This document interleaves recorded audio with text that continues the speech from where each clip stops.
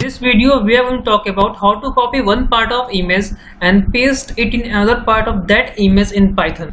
Suppose we have this image in Python, we are going to copy this part from here and paste it somewhere here in this image. We will take randomly these parts and paste it somewhere randomly here.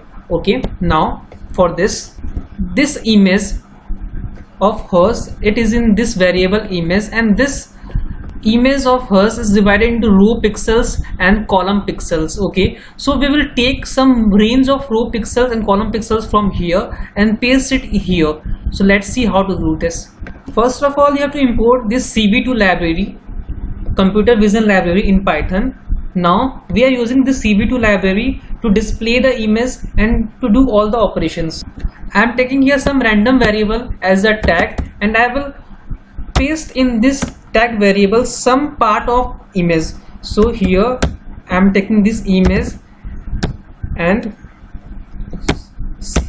500 to 700 pixels of row and 600 to 900 pixels of column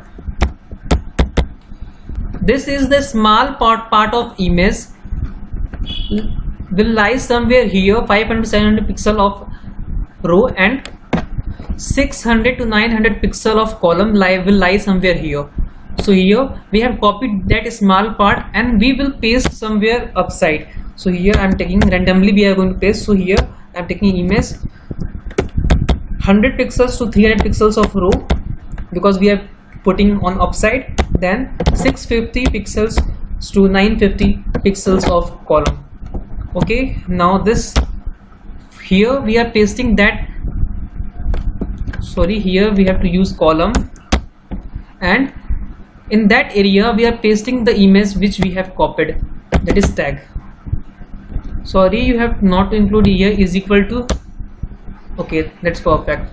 So save it and run this code to see the result you could see we have copied that part of image from somewhere here to somewhere here because we have we have taken randomly that things. So actually we have copied the part of image from here to somewhere here. Hope so you understand this video that how to copy one part of image and paste it in another part of that image in python. I will give the link of blog in which i have mentioned all the step and that code also. You can see in the description of this video. Thank you for watching